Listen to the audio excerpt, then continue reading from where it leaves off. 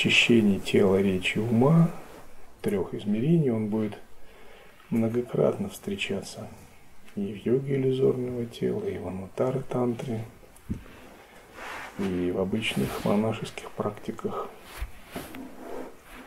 Наше тело, речь ум все более более становятся очищенными. Очищенными значит – они начинают воспринимать свет Брахмана, приближаются по качествам хоть чуть-чуть, хоть на миллиметр, но приближаются к чистым татвам, к высшим чистым татвам.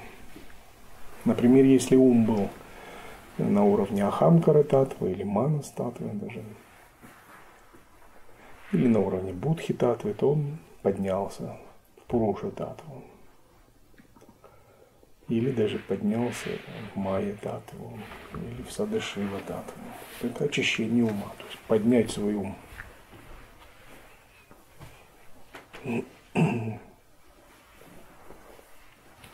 И если прана, это речь, речь это прана,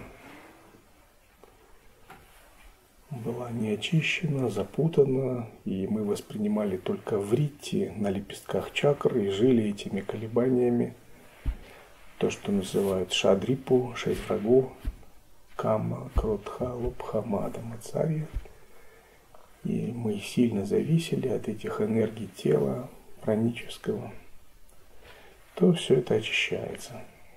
И мы можем входить в энергетическое тело, в пранолингу, медитировать в энергетическом теле –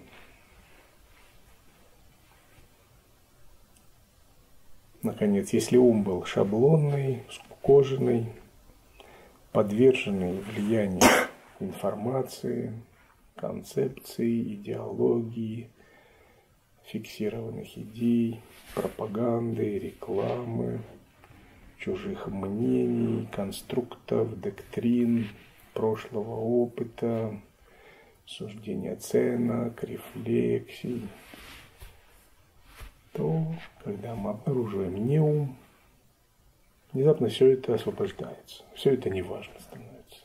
Мы видим, можно и без этого.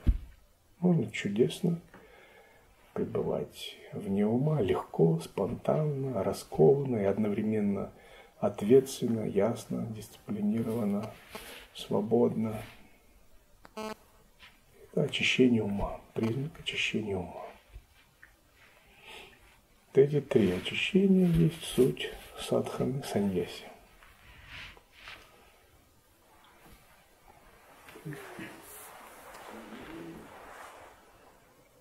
Васистха,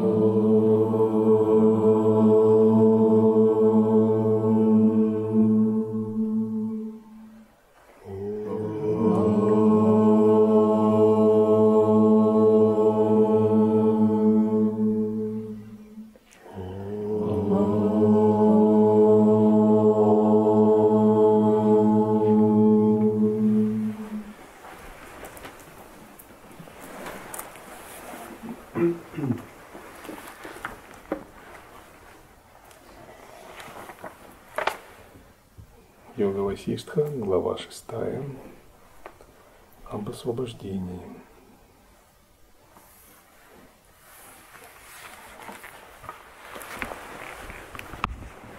И вот эти три очищения,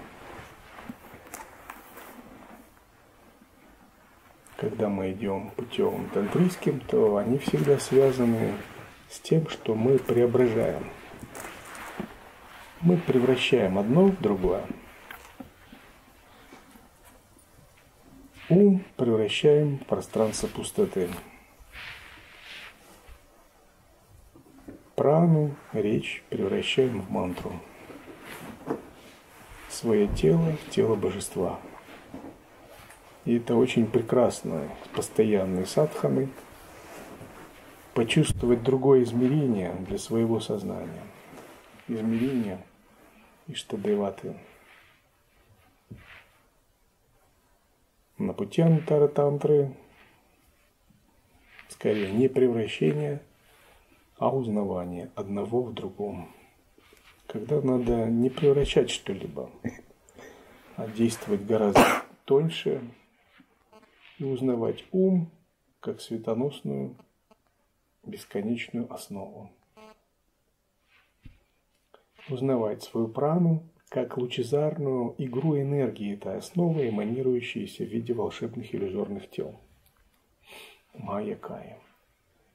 И узнавать это тело и всю такую проявленную активную энергию, как ситхакаю.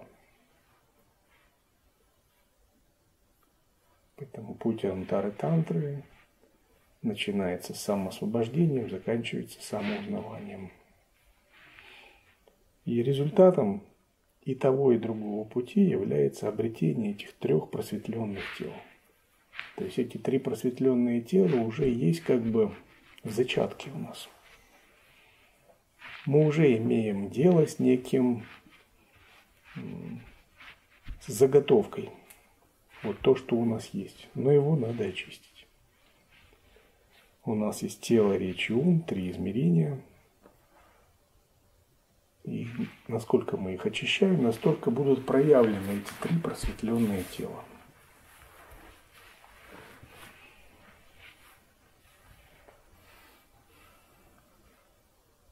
Джняна будет проявлена, если мы хорошо постигаем принцип не ума, очищаем ум, преуспеваем в самоосвобождении. Пранава Кая возникает в зависимости от того, насколько мы хорошо очищаем прану, понимаем единство праны и ясного света, читаем мантру, преображаемся в тантрийских практиках или объединяемся с праной через созерцание в практиках Анутара Тантры. И ситхакая, ситхадеха развивается хорошо настолько, насколько мы постигаем принцип поведения, насколько мы соединяем созерцание и воззрение с телом, с жизнью, с действиями, с окружающей средой, с активностью, с просветленными активностями, с грубыми элементами. Самое сложное – это насколько мы умеем взаимодействовать в этом мире с энергиями Вселенной. Ну, все это принцип очищения. Этот принцип очищения идет не быстро, чрезвычайно долго. По миллиметру.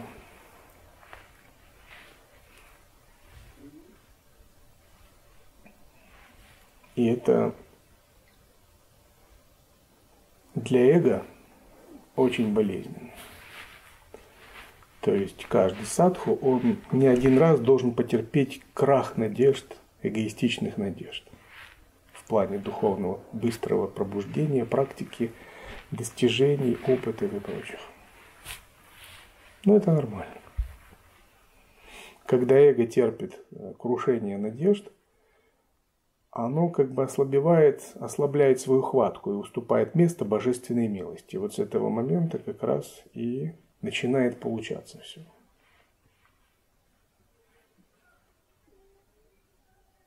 Но самое главное –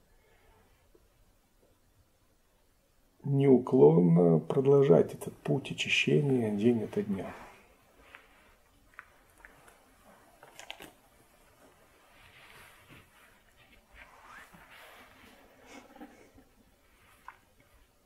Мы должны критически анализировать себя, смотреть, что нам удалось очистить, что не удалось, какие нам задачи стоят, ставить жизнь на этот год.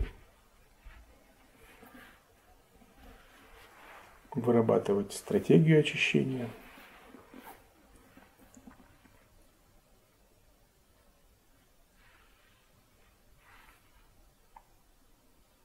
Бывает, не успел очистить одно, другое загрязнилось. Но здесь садху без уныния. Он просто идет и идет этим путем. И у него появляется привычка все хорошо очищать.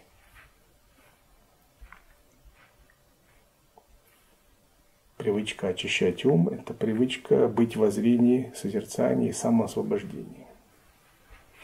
Если у вас нет привычки к самоосвобождению, вы будете себя неуверенно чувствовать. Все освобождаться должно в миг с лету, щелчком пальца, вот так. Что бы ни возникло. Но при этом нельзя впадать в нигилизм.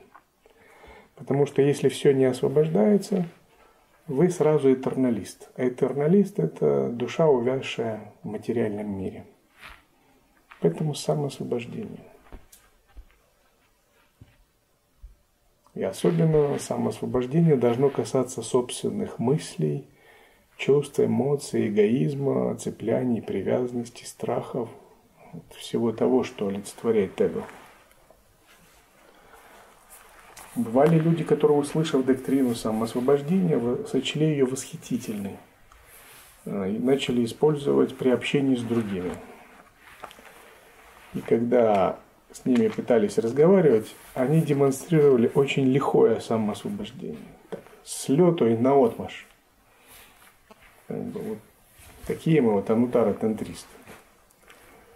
Но когда дело доходило до их собственных клеш, мыслей, желаний, амбиций, гордости, они как-то очень скромно освобождались.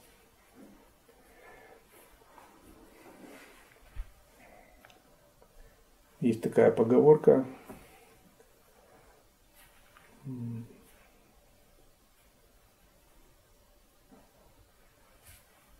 Ржут, как породистые скакуны,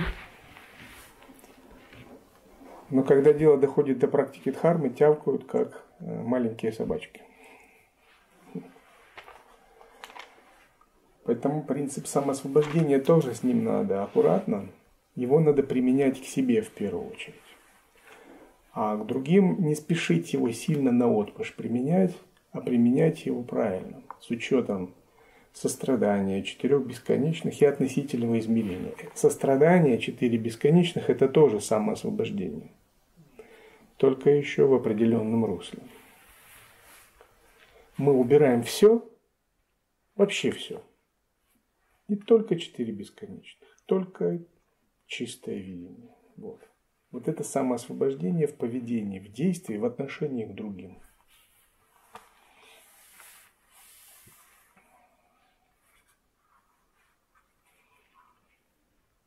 Это очищение ума.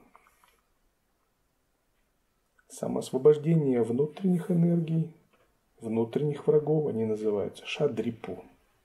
То есть шесть главных врагов. Это самоосвобождение камы, вожделения. Я жажду, я хочу, я алчу. Основной принцип этого мира. В саньясе идут те, которые отказались от этого. Кама – это всего желать, всего хотеть. Неважно чего, вот я хочу. Я алчу, я жажду. На каждой чакре чего-то хочу. Вот это кама. Это сильные путы этого мира. А кротха – это гнев, когда не получается получить чего-то. Я гневаюсь на тех, кто мне мешает, на те обстоятельства, которые мне мешают наслаждаться. Сильная тенденция наслаждения – это кама. А кротха – это гнев на любые помехи. Неважно, люди, ситуации, обстоятельства. Это кротха. А лобха означает, я начал преуспевать в наслаждении, в накоплении. И я начал копить это как-то, жадничать. Я желаю повторить это, я желаю я жаден до этого, я как-то цепляюсь за это. Это лобха. Когда ничто не мешает удовлетворять каму, я хочу это зафиксировать, усилить, присвоить. И у меня есть алчность к этому. Это лобха.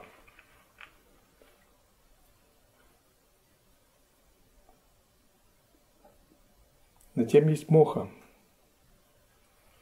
Моха означает, что я настолько с этим отождествился, я настолько этим поглотился, что я создал свой иллюзорный мирок в этом. И я полностью живу в отрыве от реальности, в такой иллюзорной реальности, потеряв связь с реальностью, неадекватно оценивая мир, я полностью захвачен тем, вот, в чем я заблуждаюсь, за что я зацепился, за что я захватился. Я живу в своем придуманном мире. Вот так. И это не такой мир, как мы делаем в йоге иллюзорного тела. Это такой мир, который неконтролируемо не осознается недвойственным, пустотным, из воззрения. Он просто из эго. И вот жить в своем придуманном мире, в сильном заблуждении, каких-то своих мыслях, своих оценках, своих воображаемых проекциях, это есть моха.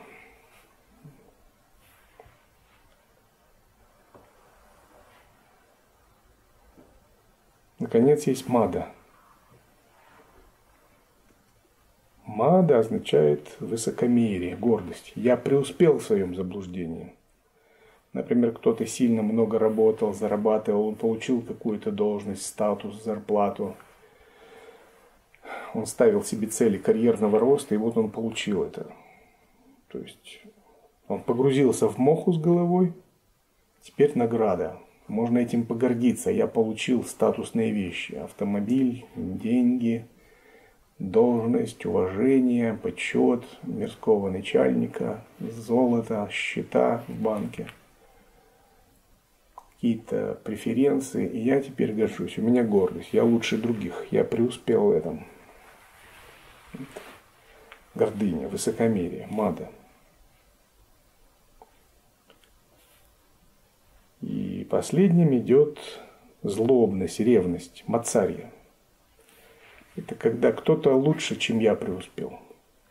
Что он мешает мне полностью насладиться гордыней и высокомерием, потому что он меня превзошел. И это мне сильно мешает быть счастливым. Задевает очень сильно. Мацария означает, я не терплю тех, кто лучше меня в заблуждении превзошел меня. Я не понимаю, что я в заблуждении, но тех, кто превзошел меня в этом заблуждении, не терплю вообще. Никто не может лучше меня заблуждаться. Это все Мацари. Вот это и есть шесть врагов Шадрипу йогина. у них один отец Ахамкара. Все порождены они эго. Вот это и есть семь разъяренных собак, которые могут покусать садху. Но тот, кто пребывает вне ума, в самоосвобождении, вот когда они проявляются, он им не подвергается. Когда они гонятся за ними. Вот за каждым садху гонятся эти семь разъяренных собак. За ним гонится Кама, Кротха, Лобха, Мада, Мацарья и их отец Ахамкара, большой босс, порождающий их. Но если садху пребывает вне ума, в самоосвобождении, он не покинет своего созерцания и самоосвобождения, даже когда они за ним гонятся. То есть он может растворять все эти силы. И это тоже самоосвобождение в отношении праны.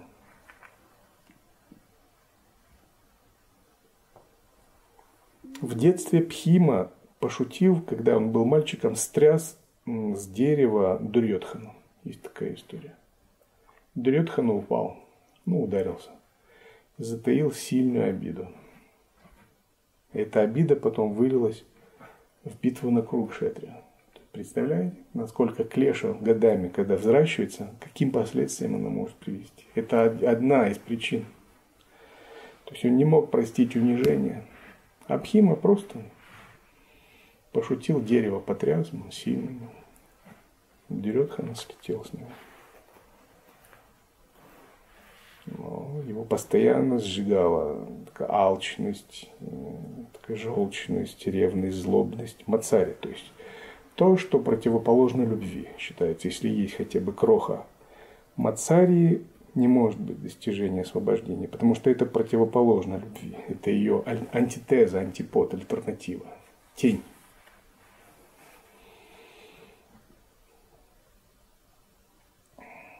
И самоосвобождение означает, что садху сжигает все это.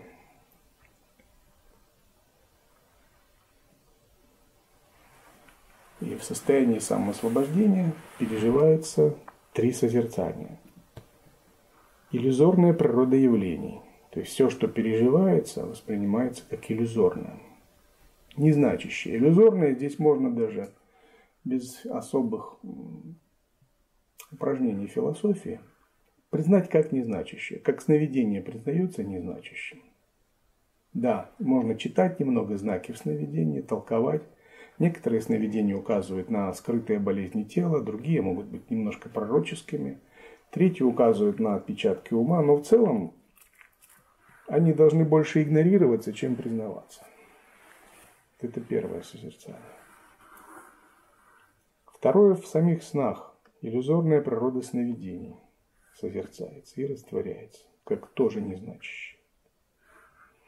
И третье – иллюзорная природа в промежуточном состоянии.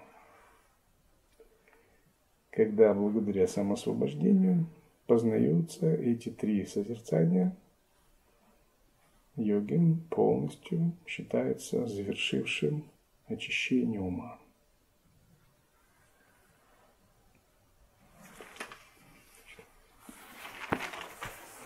Васиштха ответил. Кажущийся мир, существующий как простое понятие, растворяется.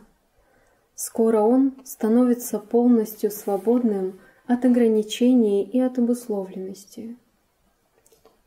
И вот когда он выполнил достаточно очищения, победил Шадрипу, шесть врагов, когда наш ум преуспел в состоянии созерцания не ума, и в этих трех созерцаниях ум становится полностью свободным. Не то чтобы он обретает это как новое состояние, просто это состояние всегда было, но оно было запечатано, он его открывает – и вот три очищения тела, речи, ума, они перерастают в три свободы. Полностью свободным, это термин в лая-йоге, есть такой три свободы. Свобода тела, свобода речи, свобода ума. Это означает, ум, пребывая в зрении, не ограничен никакими концептуальными рамками и полностью свободен. пребывая в зрении, в созерцании. Прана, двигаясь единой с воззрением и созерцанием, полностью свободна, проявляясь как просветленные виды активности. Это не значит, она сразу стала свободна, это значит, что для нее открываются перспективы свободы. И вот разные виды просветленной магической активности – это перспективы свободы на уровне праны. Вы понимаете, можно все проблемы решать э, таким мистическим духовным путем. Вы визуализируете себя в облике божества, у вас открывается шанти карма, просветленная белая активность, паушти карма, желтая активность, ваша карма, красная активность, абхичарана карма, черно-зеленая активность множество других активностей, потом медитируете на атрибуты, на предметы, все больше овладеваете разными методами, и вы обнаруживаете, что в магической реальности любые вопросы решаются вопросами ума, воли и праны. Вот это свобода на уровне праны.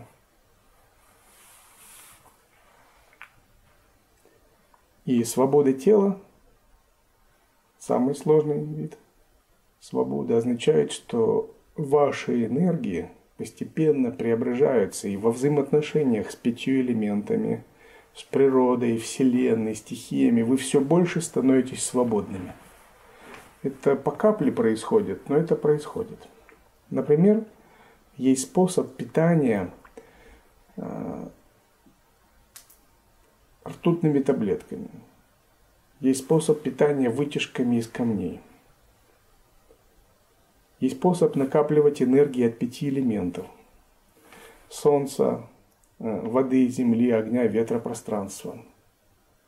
Планет, звезд, Солнца, Луны, Солнечной системы, галактики Млечный Путь, всей Вселенной, всей огромной Вселенной, всего мироздания. От магических камней и минералов, от волшебных артефактов и магических заклинаний, от божественных существ, Дакови Дакиня, чистых источников в чистых странах – Тиртх, от Шактипитх, мест силы в чистых странах. От волшебных снадобий, магических эликсиров, магических растений и деревьев, магических камней и минералов.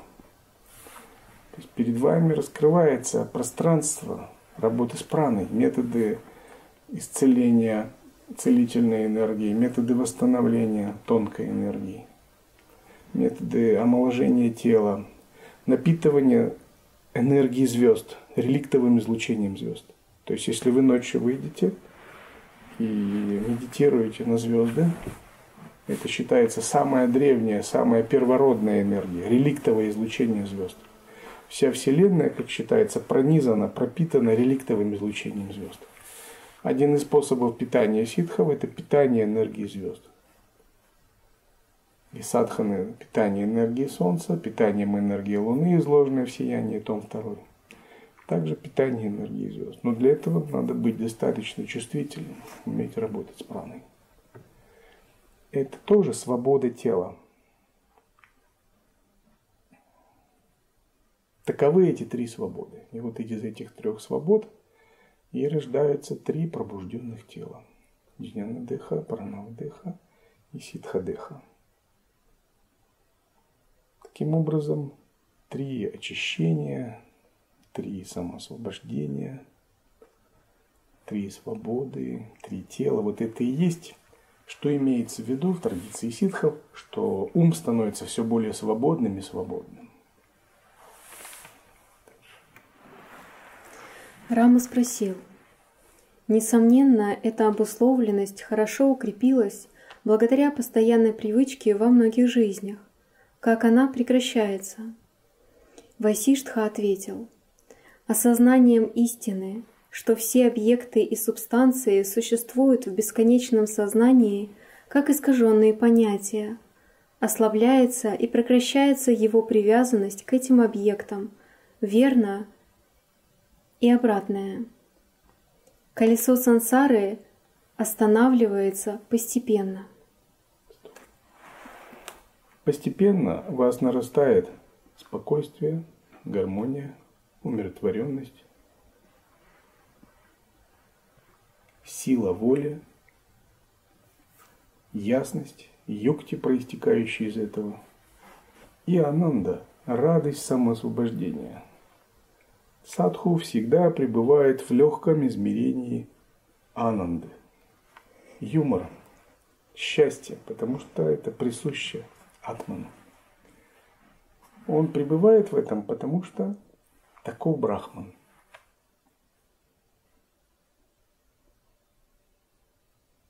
У него возрастает жизненная сила, обретается постепенно сильная прана, большая жизненная сила. Магическая сила тонкого тела возрастает, ментального тела, причинного тела, как раз погруженность в ананду. В целом он обретает силу долгой жизни благодаря возрастанию праны.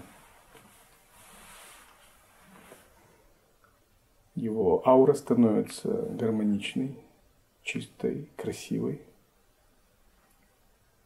Гармоничная прана становится сбалансированной энергией.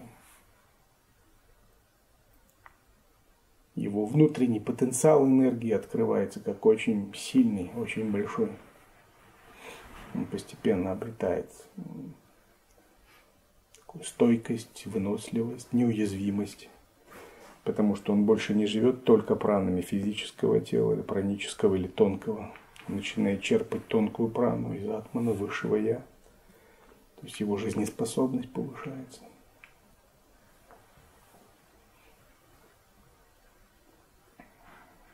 Он обретает огромную жизненную силу постепенно начинает осознавать а, жизнь это счастье. Счастье, ананда, благословение, благодать становится все более доминирующей в его жизни. Это становится главным переживанием его жизни, что жизнь – это ананда, счастье, радость, блаженство. И вот все высшие тонкуры, контуры сознания начинают тоже раскрываться – божественная чистота, красота, любовь, сострадание, мудрость, утонченность, гениальность, изысканность, святость, священность, сакральность. Постепенно раскрываются такие силы, как ясновидение, божественное яснослышание, знание прошлых жизней, будущих жизней – способность читать чужие мысли, путешествовать в тонком теле по разным мирам и быть самодостаточным, перекрывать все утечки энергии, потери энергии. Постепенно самадхи входит. Савикальпа, нервикальпа, кундалини, раджа, бхава самадхи, нада самадхи, различные типы самадхи. И все это складывается в одну такую картину, в одну мозаику сахаджа. Это сахаджа завершает себе все, содержит себе все, замыкает себе все.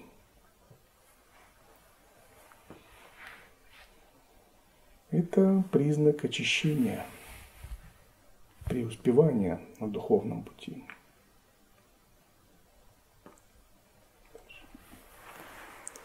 Рама спросил, что происходит потом и как он достигает спокойствия? Васиштха ответил, когда иллюзия восприятия плотности объектов заканчивается и прекращаются даже усилия, чтобы удержать себя от этой иллюзии, оканчиваются надежды, связанные с этим миром.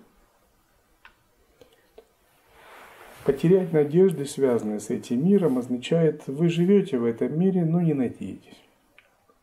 Плоскость ваших интересов гораздо выше. Она в чистом осознавании в Брахма Ахамбхаве и Дивьябхаве. Вот все ваши надежды, они здесь. А нет надежд, нет и страхов. Нет цепляний, нет привязанности. Но есть взаимодействие, любовь, красота, сострадание, игра, блаженство.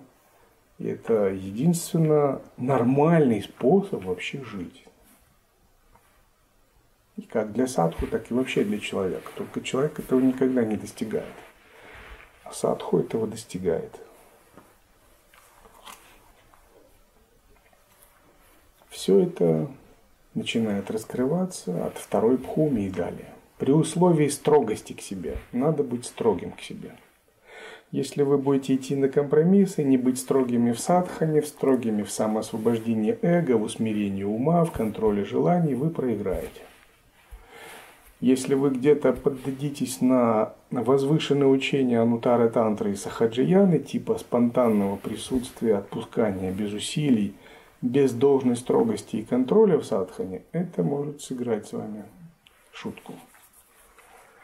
То есть все это возможно при условии строгости в себе, что вы бдите себя, вы не потыкаете себе. Тогда это возможно. То есть каждый день садхана.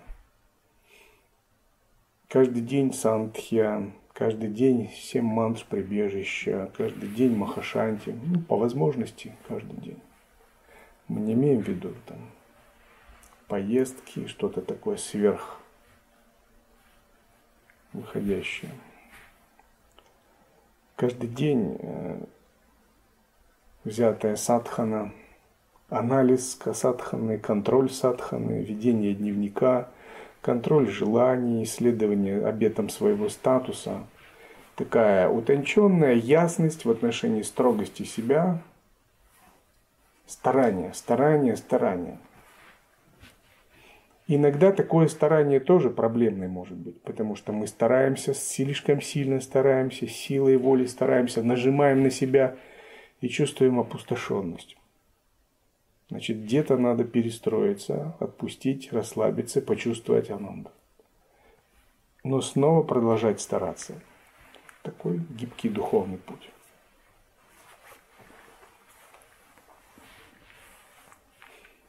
Но не потыкать не потыкать эго, не потыкать клешам, не потыкать эмоциям, не потыкать неведению, ничему не потыкать. Не так.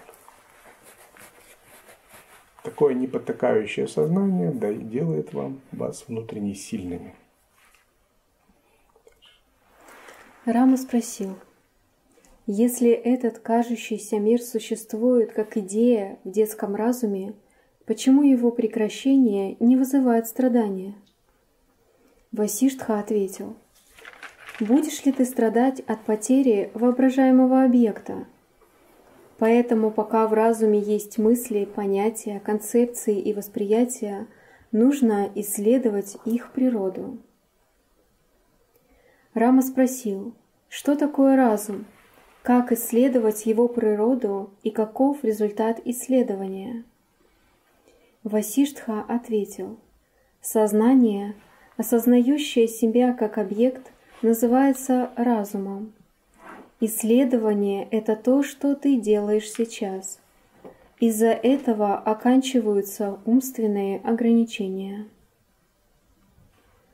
Рама спросил, как может этот разум стать необусловленным и достичь нирваны?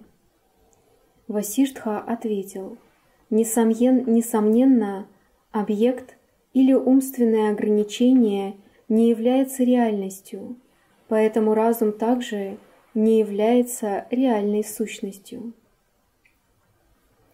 Рама сказал, но мы ощущаем его существование. Васиштха ответил, мир не является тем, чем он кажется невежественному человеку. То, что реально для просветленного – не поддается описанию. Рама сказал, что является видением невежественного человека и почему оно неописуемо в глазах просветленного. Васиштха ответил, невежественный человек воспринимает мир как имеющий начало и конец. Просветленный вообще его не видит, потому что он не был создан и поэтому не существует. Рама сказал, но как мы ощущаем его существование? Васиштха ответил, оно, он ощущается как объект во сне, который на самом деле не существует. Рама спросил, но ведь объекты во сне ощущаются из-за предыдущего ощущения в состоянии бодрствования. Васиштха сказал – эти два ощущения относятся к одному и тому же объекту. Рама ответил, из-за восприятий, оставшихся в разуме от состояния пробуждения, такие ощущения возникают во сне. Васиштха сказал, в этом случае почему дом, разрушенный во сне, видится существующим следующим утром? Рама сказал, конечно, то, что реально в состоянии бодрствования, нереально во сне. То, что видится тогда, есть сознание Брахман, но как возникает то, что не существовало ранее? Васиштха ответил, только чистое сознание сияет всегда, как если бы это ощущалось ранее. Действительно ли это так или нет? Рама сказал, «О святой, как избавиться от этой иллюзии?» Васиштха ответил, «Исследуй, как может сансара казаться существующей, если у нее нет никакой причины для существования?» Рама сказал, «Разум является основой всех объектов во сне, и потому они все являются только разумом. Таков же и мир». Васиштха сказал, Разум не отличается от массы чистого сознания. Кроме этого нет ничего. Рама сказал, как тело не отличается от своих частей, так и Вселенная не отличается от Брахмана. Васиштха сказал, поэтому мир никогда не был создан. Он есть вечный Брахман.